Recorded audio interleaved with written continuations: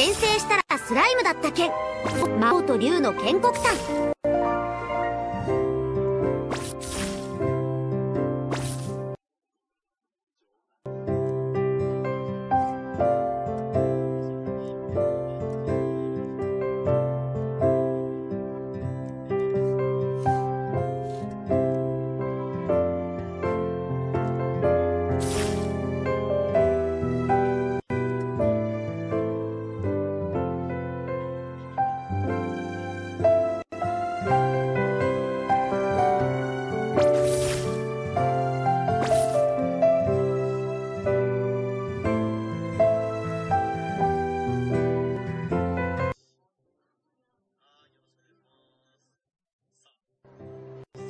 ここはジュラテンペスト連邦国。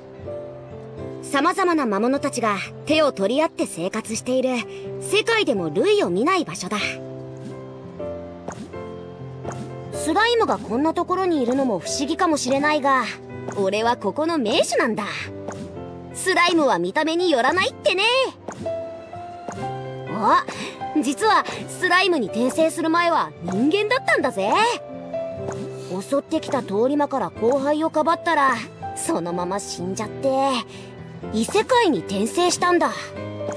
今和の際につぶやいたことがなぜか叶えられちゃった結果見事なスポッティとして生まれ変わった。ってわけだ。いろいろあったし今でもいろんなことに巻き込まれるけどまあなんだかんだ平和な日々を送っている。本当にこの場所も立派になったもんだ。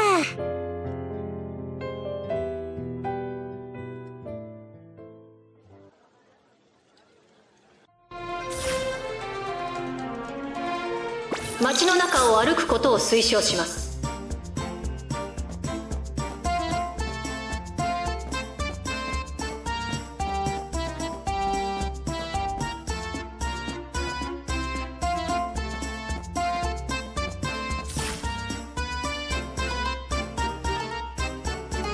街にいるキャラクターとの会話を推奨します。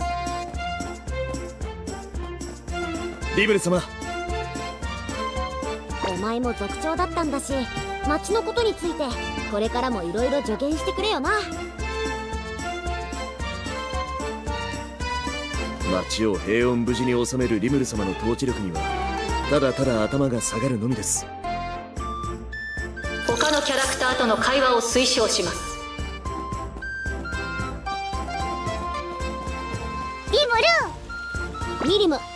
った時にも言ったけど俺の許可なく町やその周りで暴れないように。約束だぞ。もちろんなのだ。約束は守るぞリムル。他のキャラクターとの会話を推奨します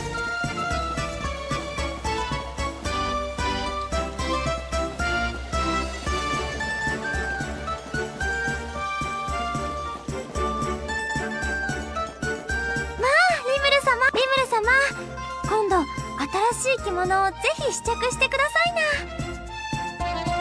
いいけど女の子用じゃないよな。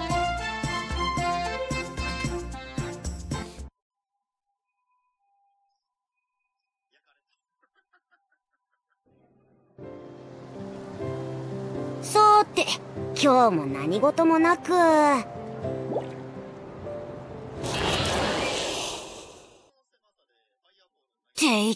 そばから。大型の魔獣の接近を感知しました。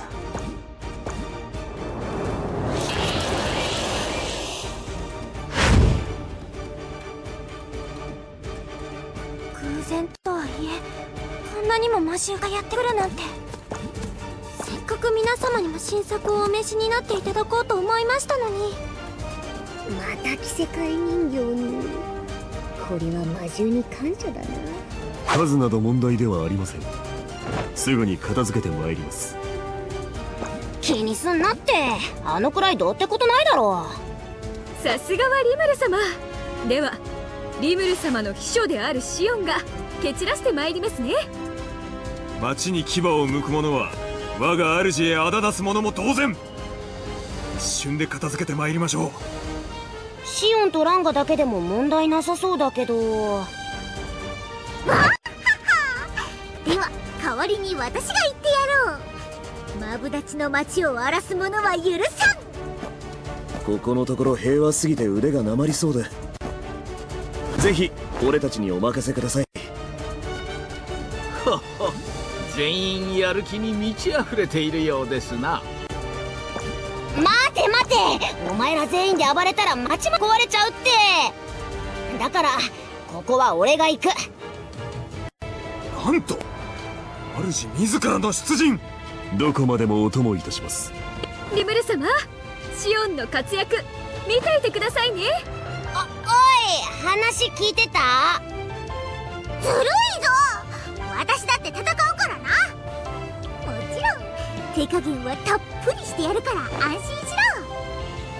はあやりすぎてあたりをめちゃくちゃにしてはいけませんからね過剰かもしれませぬが魔獣たちが近寄らぬようきついお灸を据えてやらねばなりますまい。誰も待つつもりはないようですね。まあ俺もですなではリムル様どういたしますか？お前ら抑え込む方が大変だよ。仕方ない。全員で行くか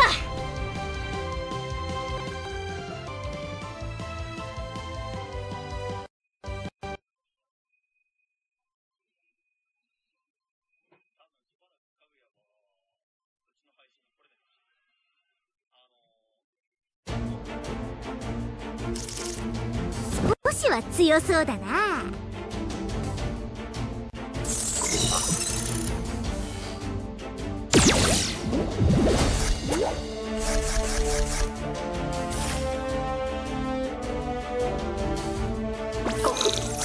手札から攻撃するキャラクターを選択できます。キャラクターもしくは種類が同じものは複数選択できます。技能の魔装魂を使うとスキルポイントがたまり各キャラクターのスキルが発動可能になります。手札は全て技能の魔装魂であるため6枚全てを選択可能です。左下のスキルでは今回の攻撃に複数枚選択するとコンボとなりコンボが多いほど。出番です。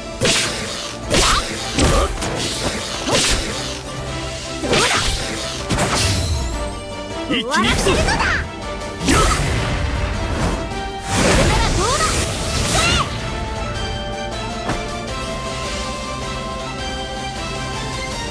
しちょっと一息奥義の魔装魂を使うとキャラクターの HP の下に表示されている。奥義の魔装魂を増やすために先ほど貯めたスキルを活用することを推奨します。技能の魔装魂を奥義の魔装魂に変換するスキルを選んでください。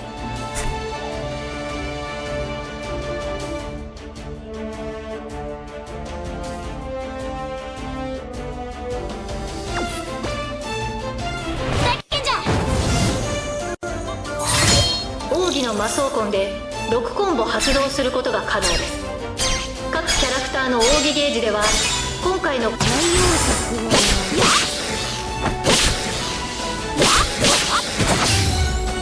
一気に行くぞ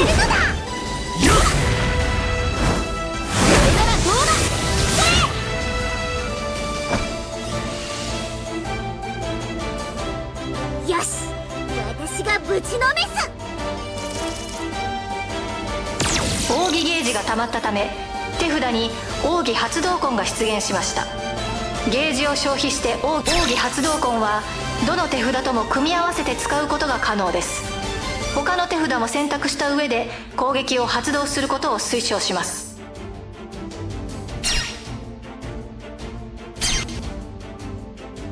が切り札だ。誰一人逃がさない。神の光に泣き貫く彼らメギド！これが俺の覚悟だ。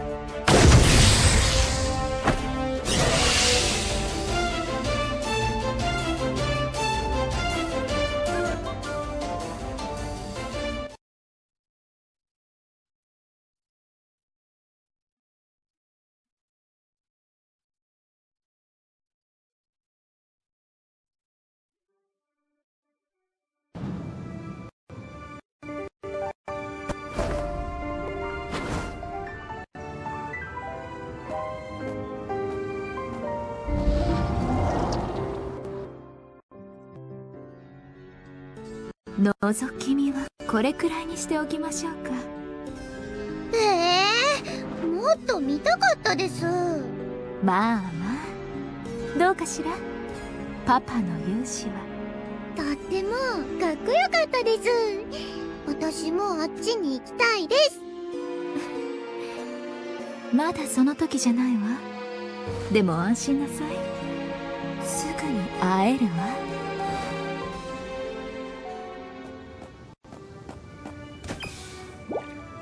あそういえばまだ名乗ってなかったよな。俺はリムル。リムルテンペスト。